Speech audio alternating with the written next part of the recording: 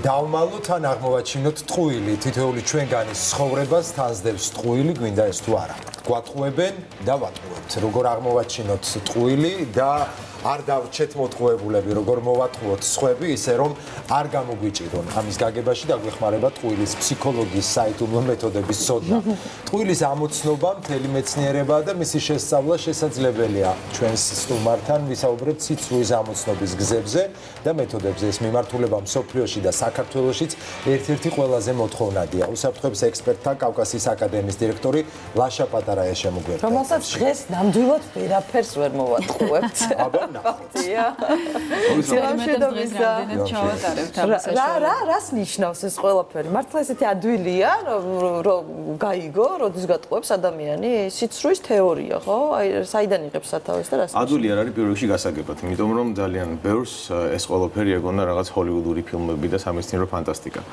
რეალურად ეს არის დისციპლინა, რომელიც დიდი ხანია ისწავლება, საქართველოს პირველად გავიხსენეთ ჩვენ кейსმა და ძალიან საინტერესო დისციპლინაა, სადაც იმსურავა ეს стереოტიპი, რომ ეს არ არის მეცნიერება, ეს არის მეცნიერება და შესაძლებელია თქურის ამოცნობით. და ვის ასწავლეთ? ეს არის საინტერესო. მსურველები რა მიმართულებით ყავთ, იმიტომ რომ მებაჟეების, პატრონის თანამშრომლები, ან მსგავს უწყებებთან თანამშრომლობს თუ როგორ? ჩვენი აკადემია უკვე 8 წელია წარმატებით ამზადებს როგორც სამართალდამცავებს, ისე დიპლომატებს, აჯანმრთელებს, შერეული ჯგუფები გვაქვს. ანუ ყველა სჭირდება, თანხდებით იმაზე, რომ საინტერესოა ყველასთვის განსაკუთრებით ალბათ ჟურნალისტებისთვის მათთვის ვინც ასევე ეწევა გამოძიებებს და მათ შორის არ მხოლოდ პროფესიული არამედ პირადი საჭიროებაც არის ზოგადად პირადი ცხოვრების. ანუ მე ჩვეულებრივმა ადამიანმა ყოველდღიურ ცხოვრებაში რაში უნდა გამოვიყენო თქვა ეს მეთოდები და ეს წესები რასაც თქვენ გვასწავლით. აი თქვა უცნობ ადამიანებთან გნებავთ კოლეგებთან ზახში პირად ურთიერთობებში გატყუებეკა.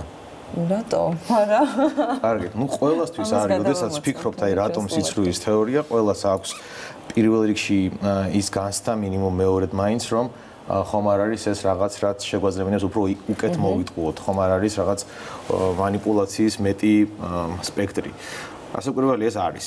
ეს мотиваცია ადამიანზე დამოკიდებული თუმცა ეს გამიზნულია იმისთვის რომ ადამიანების ცხოვრება გაამარტივოს და არის აბსოლუტურად პოზიტიური. ამაში არაფერი ნეგატიური ტექნიკები არ დევს. ეს არის უფრო დამაჯერებლები ამაშიც თქვენ არ მოტყუდეთ როგორც პიროვნება და რასაკურველია თუ თქვენი კარიერა თქვენი პროფესია მოითხოვს იმას რომ მუდმივად არჩევდეთ სიმართლეს და კითხულობდეთ გარკვეულ ფარულ მიზნებსაც ადამიანებში ეს მეორე ნახევრის გადასამოწმებლად ხშირად მოგმართავენ ხოლმე ღალატობს თუ არა ეს ვერტყვი მაგრამ ეს мотиваცია ზოგადად ჩანს არის ხოლმე ჩვენს ტრენინგებზე, რომ ეს არის აქტუალური თემა. ანუ პირად ურთიერთობებსაც განსაზღვროს, ესე იგი მნიშვნელოვნად იმის ცოდნავთ, ფაქტს მიაქციო პარტნიორში ყურადღება. ყველაზე მნიშვნელოვანი ბოდიშინო, ყველაზე მნიშვნელოვანი მაინც ალბათ, რადგანაც 21 საუკუნეში განსაკუთრებით ვსაუბრობთ ბიზნესი, მარკეტინგი, პოლიტიკა, ეს ყველაფერი ამ სფეროების მიხედვით манипуляციებს დიდი დრო ეთმობა, მათი მხრიდან ჩვენზე და ჩვენი მხრიდან ალბათ მათზე, მაგრამ ყველაზე აქტუალური მაინც არის პოლიტიკა, პოლიტიკა პოლიტიკოსები და მათი ტყუილები, რომელსაც საზოგადოება ხშირად საკუთარ თავზე იწვნევს ხოლმე, ასე ვთქვათ. მათყუარა პოლიტიკოსები. ფიქრობ თქვენთვისაც საინტერესო თემა. ჩვენ დაუნებურად ამ პროგრამას ისე ვერ ჩავატარებდით, რომ არ ყოფილიყო ეს მნიშვნელოვანი მასალა. რასაკვირველია, ყველაზე მეტად კონცენტრაცია ასეთი ტყუილების არის პოლიტიკაში. ერთი მინუსი რაც გააჩნია ამ დისციპლინის შესწავლას, სიცრუის თეორიის არის ის, რომ თქვენ ჩაულებრივ ვეღარ უყურებთ ტელევიზორს. იმიტომ რომ უფრო მეტად გივითარდებათ ფხიზელი თვალი და ძალიან ბევრ რამეს აკვირდებით.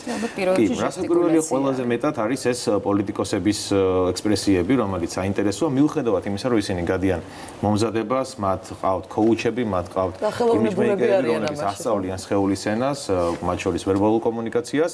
და ამის და მიუხედავად ხშირად გადის ძალიან სერიოზული სიგნალები. კი ბატონო, რა კიდის ყველაზე მეტად ადამიანს როცა იტყუება და კონკრეტულ მაგალითებსაც გადავიდეთ. პოლიტიკოზე თუ ლაპარაკობთ, ეს არის overtraining, overtraining-ი, ანუ გადაჭარბებით შესრულება რაღაცის, რაც ბუნებრივ მდგომარეობაში baseline-ში არ ჯდება.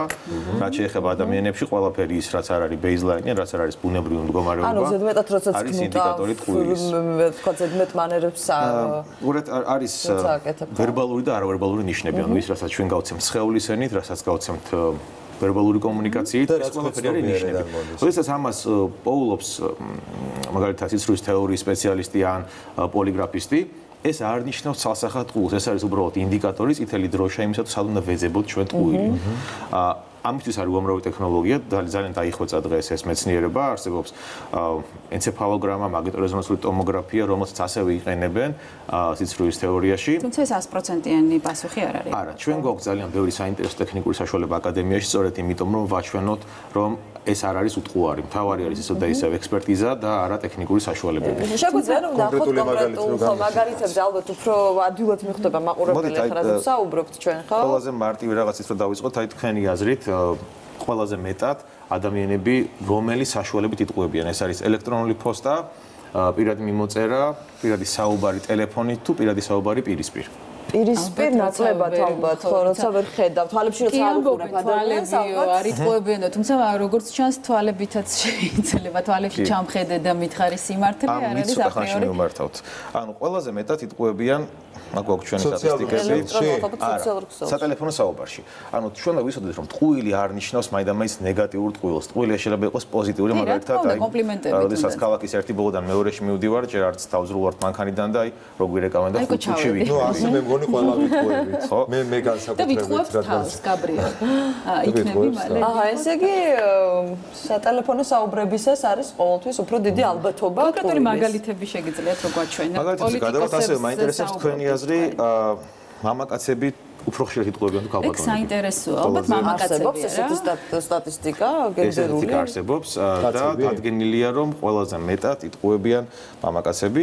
ეს არის თან 8ჯერ მეტად შეფარდებით და განსხვავება არის ტყუილის мотиваციაში. ანუ ქალბატონები მეტად იტყუებიან უფრო სოციალური უწყინარი ტყუილებით. მაგალითად, როცა ერთი მეგობარი მეორეს ეკითხება, მიხდება თუ არა ეს ტანსაცმელი და შენთვის არის შექმნილი ზუსტად. შენ სტანზეა შეგერი. მართული არის ეგოზე. როცა ლაპარაკობთ რომ აი ნადირობაზე ვიყავით და იცი მე მგონი ეს ყველაფერი ინდივიდუალურია. გაბრიელ. ხო. ძალიან ბევრი პოლიტიკაზე საუბრობდით და ხომ არ გვაქვს რაღაც ისეთი მე ვესტები ახლა გაჩვენოთ რამოდენიმე მაგალითი.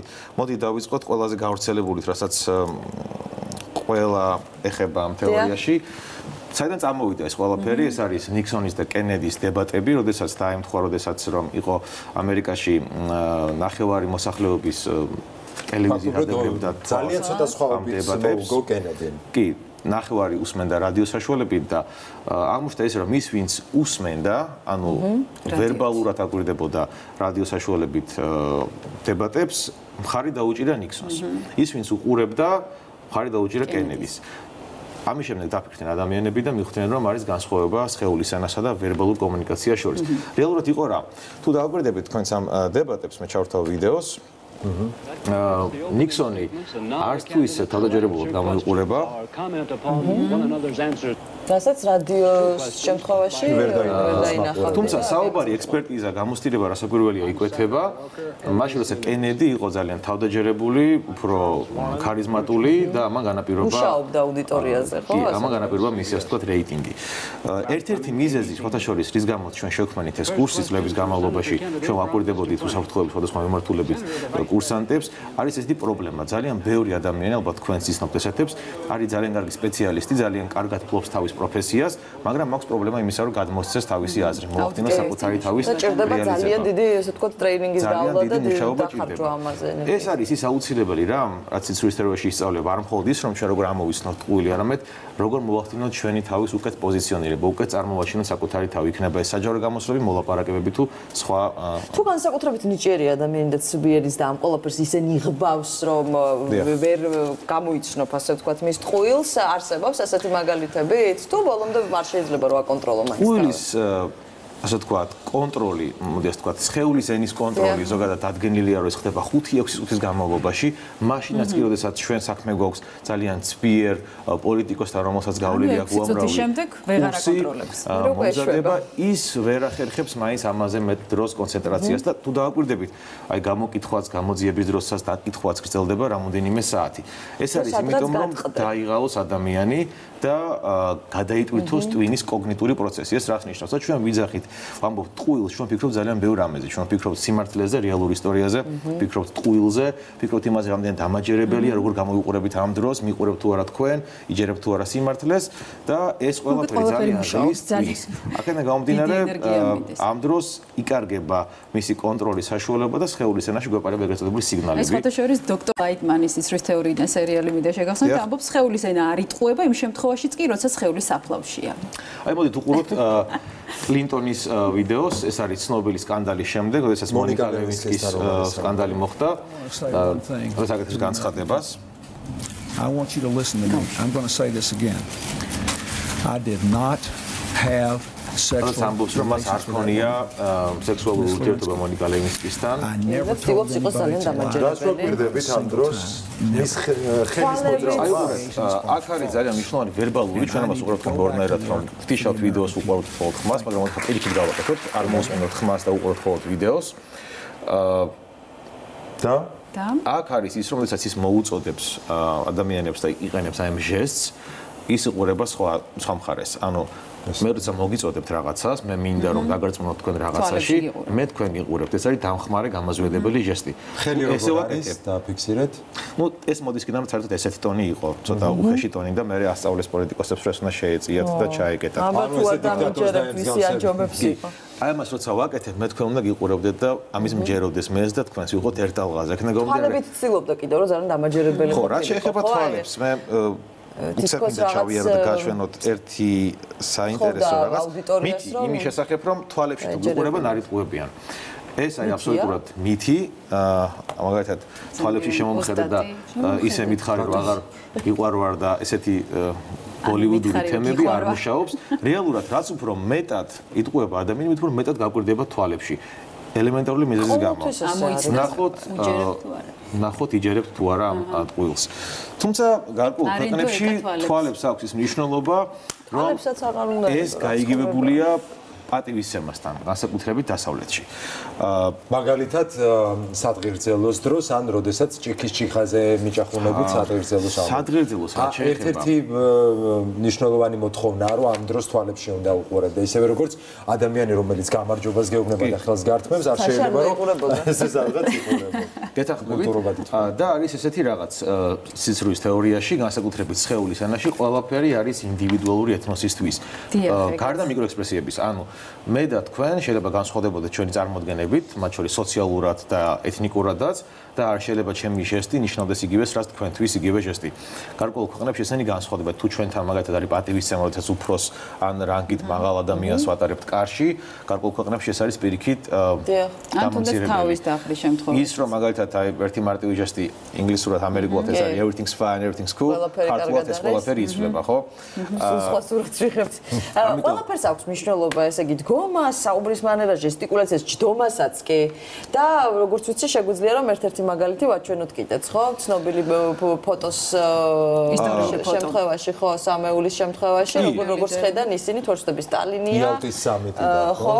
ძალიან ცნობილი кейსი, რომელსაც ჩვენ ვიყენებთ სწავლებაზე, გაახლავთ აი ეს იალტას კონფერენცია, სადაც ჩვენ ხედავთ, რომ აა ერთგვარად იკვეთება, თუ ჩვენ არც ვიცით უფრო ისტორიული რაკურსით რა ხდებოდა რეალურად, იკვეთება ძალიან ადვილად, რომ ამერიკა ამ შემთხვევაში ფლობს ძალიან კარგ პოზიციას, დომინირებს. მაგრამ ყოველდღურად ვერ ვარქმევთ სახელს რატომ? აი ნახოთ კიდევ სხვა სურათებიც. აა ეს ეს ერთი შეხედვით მხოლოდ იმის დაბაჭლება მრჩება, რომ უბრალოდ უფრო თავისუფლად ის. ხო, აქ ერთი რაღაცა არის, თუ დააკვირდებით. ისინი ვინც არიან დაძაბულები, ერთი ესეთი უხერხული საიდუმლო არის სიცრუის თეორიაში, ოდესაც მამაკაცებს ეხება ეს მალავთ ალფა ზონას, ანუ აა გენიტალიებს, რასაც გენიტალიებს, მოკლედ ამ შემთხვევაში ჩვენ ნაკლებად გვჯერა საკუთარი თავის ან ვართ დისკომფორტში. რაღაც თავდაცვის ინსტინქტია ერთგვარი. ეს არ ნიშნავს აუცილებლად იმას, რომ ჩვენ ვიტყუებით. აა ეს ისევე როგორც ის ორგანული კონკრეტული ადამიანის და ისევე როგორც ნებისმიერი ტყუილის ნიშანი ძალიან გავს სტრესს. ანუ სად გადის ზღვარი სტრესსა და სიცრუეს შორის, როდესაც ამ ნიშანს დავინახავთ. ეს არის უკვე სპეციალისტის დაკვირვების საგანი. თუმცა ალბათ თანხდებით, რომ ზოგადად ბუნებაში არ არსებობს ორი ერთნაირი ადამიანი და ეს რაზეც ჩვენ ახლა ვლაპარაკობთ, არ შეიძლება ავიქოთ როგორც აპრიორი დადგენილ ნორმად. აა კი, მაგრამ არის ესეთი რამ, რაც არის უნივერსალური, ეს არის მიკროექსპრესიები. თქვენ ახსენეთ ლაითუმი, ანუ ფილმი, რომელიც ძალიან ცნობილია, სწორედ ამიტომ დავარქვით ჩვენს ტრენინგს ეს სახელი. ა, რომელმაც პირველად აღმოაჩინა მიკროექსპრესიების საკითხი. მიკროექსპრესიები ეს არ არის პირდაპირ სხეულის ენა. ა, ეს არის წამზე ნაკლები ხანგრძლივობის ემოცია, რომელსაც სახის კუნთოვანი კონფიგურაცია განაპირობებს და აა ასე ვთქვათ, ამით შევაფიქსირებთ ემოციას. არის შესწავლილი ძალიან ბევრი ექსპერიმენტი ჩატარდა, პოლიტმანმა ჩაატარა და ამის მიხედვით გადაიღეს ფილმი. აა გამოიყო ძირითადი 7 ემოცია, ეს არის სიბრაზე, ეს არის შიში, სიხარული, გაოცება, სიძულვილი, წყენა, ზიზღი. აი ეს ყველაფერი არის ის ძირითადი ემოციები, რომელთა კონფიგურაცია არ იცვლება მიუხედავად იმისა, თუ რომელ კულტურას წარმოადგენთ, ან რა ეთნოსის ხართ, ან რა სოციალური ჯგუფის. ყველგან ეს არის აბსოლუტურად უნივერსალური და იყო ასევე ექსპერიმენტი ჩაატარეს ბავშვებზე, რომ აა მათ ვინც დაბადებიდან იყო უსინათლო, აა იგივენაირად ჰქონდათ ემოციის ექსპრესია, როგორც სხვა ადამიანებს. ბაშე, თქვენ ამ ყველაფერს იყენებთ ცხოვრებაში თქვენ თვითონ? ამით ცხოვრობთ? აა ვერ ვიტყოდი რომ აქტიურად მთელი ასე ვთქვათ წვენის იცრუის თეორიის არის ის რომ ჩვენ უბრალოდ ვაფხიზლებთ, ვაღვიძებთ ჩვენს კონცენტრირებულ ცოდნას. ის რასაც ჩვენ გაგდებათ ურეზერვაციულობთ თქვენ სწავლ. თვითონ აი ეს ცოდნა? კი, განსაკუთრებით გასაუბრებებზე ჩვენ აკადემიაში ყველა კურსებზე გვაქვს ისიც გასაუბრებები და ძალიან ბევრი საინტერესო რაღაც იკვეთება ხოლმე. ყველა ადამიანს აქვს მათ შორის მეც აა, ყველას აქვს 54% კორექტულობა სიცრუის ამოცნობის. ეს არის ის, რაც საშუალო არითმეტიკურია გამოყვანილი და გვეხმარება უკვე დამატებითი საშუალებები. ეს არის პოლიგრაფი, ეს არის მაგალითად ინფორმაცია უკვე გვეხმარება იმაში, რომ ეს 54 ავწიოთ 80-ზე. ჩვენ ახლა ყველანაირი არითმეტიკული და მათემატიკური გამოთვლებით უნდა დაგემშვიდობათ, იმიტომ რომ ჩვენი ჩვენი დრო ამოიწურა. ძალიან დიდი მადლობა, ლაშა პატარაია გვაცნობდა ესე იგი სიცრუის თეორიის მეთოდებს, წესებს და ძალიან საინტერესო საუბარი გამოგვივიდა იმედია გვეთანხმება მაყურებელი.